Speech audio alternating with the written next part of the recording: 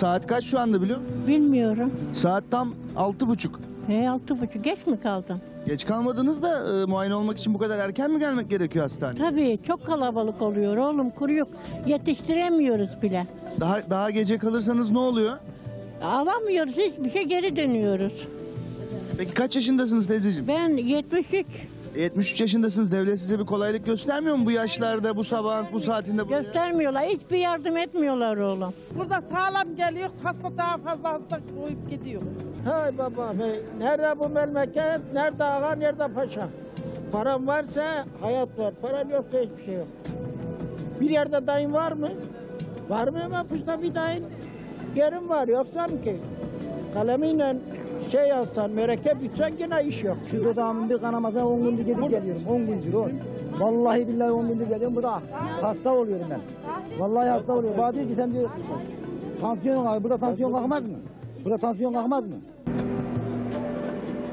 Bugün sıra yok, yarın, yarın gel öbür gün.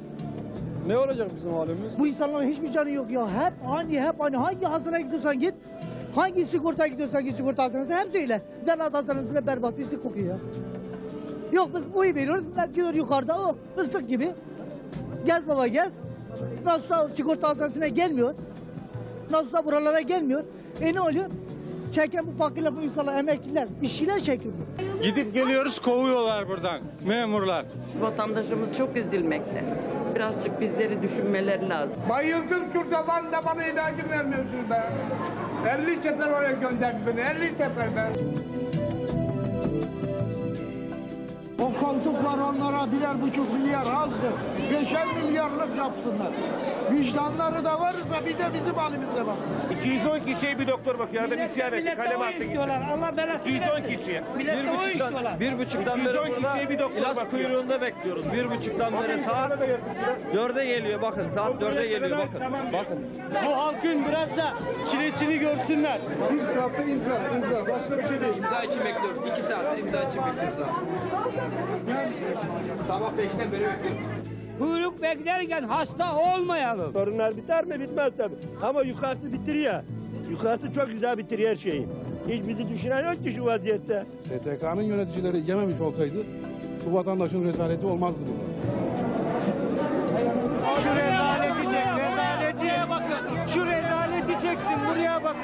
Buraya bakın. Rezalete bakın. Kardeşim ben hastaysam bana bakacaksın. Sen hastanesin hastane. Sana hastane demişler. Ok Baydar'ın sosyal sigorta hastanesi demişler kardeşim. Bakacaksın. Ben buraya oyuncak için gelmiyorum ya. Oyuncak için geliyorsam şerefsizim ya. SSK Genel Müdürümüz burada. Sayın Müdür, e, bilmiyorum siz alışkın mısınız bu tür manzaralara ama biz e, aslında alışkın olsak bile, yadırgamasak bile yadırgamayışımızı yadırgar bir hale geldik. E, Yok hayır e, yadırgadım doğru değil. Her yurttaşın hastaneye gitme özgürlüğü var. Kişi sigortalı olur veya olmaz. O saatte tabii acil servise geldiği zaman normalde hekim arkadaşlarımızın bakması gerekiyor. Ama bu olayın tabii ayrıntılarını bilemiyorum ama görüntü e, tabii SSK açısından da hasta açısından da hoş bir görüntü değil. şimdi bu sadece e, ekstrem bir örnek falan değil, 40 yılda bir olmuş bir şey değil. E, devamlı bu tür e, şikayetler geliyor. Peki ne yapmayı düşünüyorsunuz? Elbette hoş değil. Yalnız tabii Türkiye'deki sağlık sorununu SSK ile özdeşleştirip sadece bu e, sorunların SSK'da olduğunu söylemek de doğru değil. Çünkü bu genelde hemen hemen her hastanemizde yaşanan bir dram maalesef. Yok yani e, bundan 10 sene öncesi için filan böyle bir şey söz konusu Yoktu, olabilir ama yoktu. giderek bakın görece olarak bir e, düzelme var. Düzelmemekte ayak direyen e, hem zihniyetten dolayı hem ataletten dolayı özür dileyerek söylüyorum. Çünkü gö- gördüğüm şeyleri söylüyorum. E, ve oradaki işleyişten dolayı e, düzelmemekte ayak direyen ve asla da düzelemeyecek gibi e, intibalar veren SSK hastaneleri. Şöyle söyleyeyim efendim 10 yıl önce SSK hastaneleri çok daha iyiydi. Çünkü 10 yıl önce İstanbul'da 10 bin yatak kapasitesi var ise 10 yıl sonra yine 10 bin yatak kapasitesi var. Ama İstanbul'un nüfusu 4'e 5'e 6'ya katlandı. Şikayetçi misiniz bundan? Elbette şikayetçiyiz çünkü Sosyal Sigortalar Kurumu'nun yatırım politikası yanlış yapılmış. İşçinin ağırlıkta olduğu yere hastane değil de işçinin olmadığı yere hastane yapılmış. Sanki bir SSK, Doğal olarak da SSK prim ödeyeni gibi konuşuyorsunuz. Elbette. Siz şikayetçi oluruz kurumun Elbette. başında genel müdürsünüz efendim. elbette şikayetçi olacağız çünkü yatırım politikalarını yönlendirenler e, bürokratlar değil. Benim söyleyeceğimi tasdik edecek. Ben her ayın 15'inde sokağa çıkıyorum. Hazine Bakanı'na, Maliye Vekili'ne bana söylenen laf şu. Kaynak bulursak maaşınızı vereceğiz. Öyle mi beyefendi? 36 ay bütün borç alacakların 36 taksite bağlandı. 3 aylık sayın genel müdürüm bakınız. biliyorum, biliyorum. 3 ay biliyorsun anlat. Şimdi bir, işin bir tarafını anlatıyorsun. Hayır efendim, benim Müsaade söylediğim- misin efendim? 36 ay Türkiye'de 3 aylık faiz 3 aylık faiz %50 net. Dünya tarihinde görülmediği bir ortamda siz SSK'nın alacaklarını 36 ay takside bağladınız faizsiz. Bu SSK bitmez de ne olur Allah rızası Anayasaya mutlaka bir hüküm koymak lazım. O hükmün de şöyle olması lazım.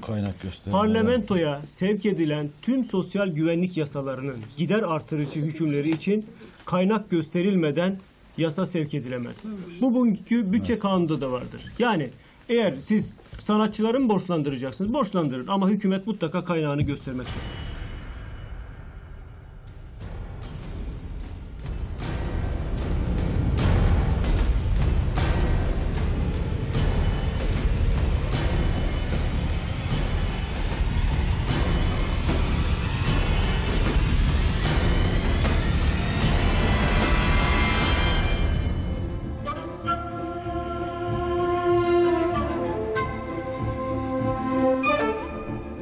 Pazar günü nöbeti var Şule'nin. Gene aradan arada bir gün var.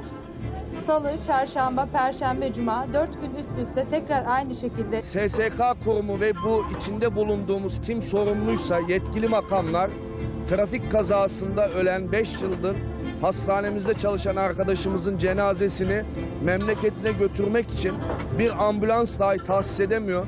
Ölüsüne sahip çıkmayan bir zihniyet insanlar yaşarken sahip çıkar mı sormak istiyorum. Bu sistemi nasıl sorgulayacağız? Ee, bu sistemi sorgulamanın bir yolu var. Yani genel müdüre şikayet edelim dedik. Genel müdür bizden daha şikayetçi. Ee, biraz da müstesni herhalde acı acı gülüyordunuz. Yoksa durumdan hoşnut olduğunuzdan gülüyor değilsiniz. Değil mi?